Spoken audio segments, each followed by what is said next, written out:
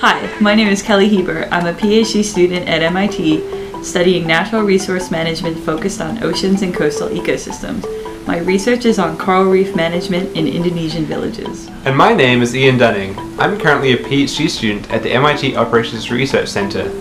I study the mathematics of planning under uncertainty, and I've previously worked at Google on developing algorithms for their search engine. Our Fish Hackathon project focuses on aquaculture in South and Southeast Asia. Aquaculture-focused development can enhance livelihoods and provide new opportunities for small-scale farmers in developing countries.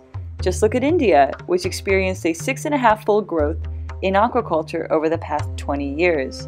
However, there are significant environmental problems caused by aquaculture, including water pollution and impacts on drinking water that result in increases in life-threatening diseases. There are also socioeconomic conflicts resulting from aquaculture that are tough to resolve. Commonly owned mangrove forests have been converted to privately owned fish and shrimp farms, while the upfront capital required to set up an aquaculture operation is out of reach to all but wealthy investors, resulting in local villagers being shut out. Our approach to mitigating some of this social conflict between stakeholders focuses on valuing the ecosystem services of the environment where communities live and work. Ecosystem services are anything nature does to increase human well-being.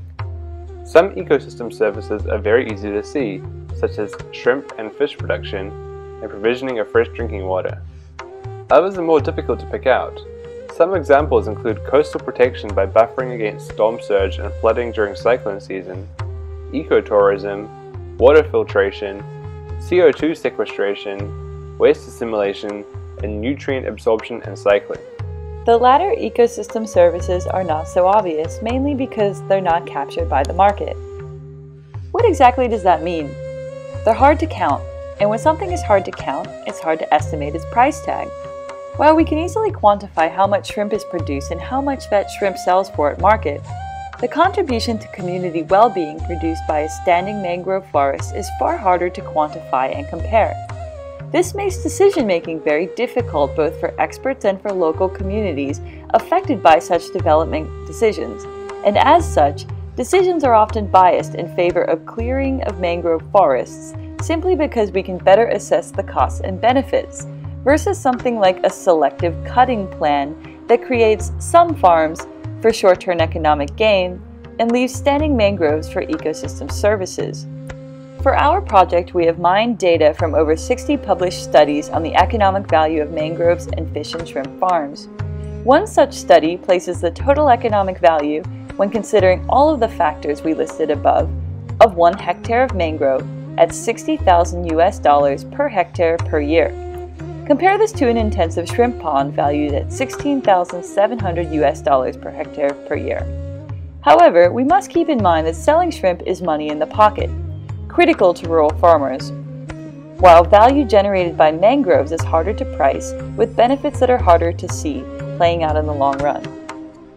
Our tool, named Captured, helps communities to make more informed economic decisions about shoreline management after considering a spectrum of aquaculture development scenarios that vary according to size, intensity, choice of farm species, and conservation targets. The name is a play on words between capturing fish, the iconic rhizophora species of red mangrove that lines Southeast Asian coasts, and how we intend to capture the true economic value of coastal ecosystems with our application in order to empower communities. Captured is primarily intended to be used on a mobile device, an ever-growing technology used throughout Southeast Asia. Its target audience is coastal communities involved in or considering involvement in aquaculture. It has two main functions. First, it can assess the true costs and benefits of development involving local ecosystems, and second, it can collect data from farming communities via SMS or smartphone analyzing it and presenting it back to local users to better inform day-to-day -day decision making.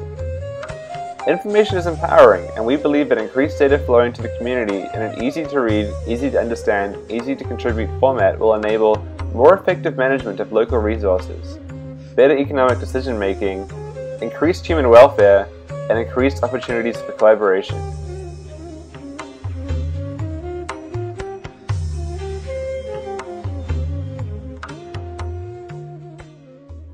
We are very excited to be able to test captured in the field in the coming months in two villages located in the extensive Sungai Pulai mangrove forest in Johor, South Malaysia, where we have ongoing research. These villages are making difficult decisions around their mangrove use as it relates to agriculture of finfish, prawns, and crabs. Village stakeholders have expressed interest to us for this type of tool in previous fieldwork expeditions to this area.